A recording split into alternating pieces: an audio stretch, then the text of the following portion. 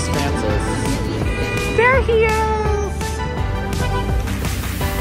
Where are we going?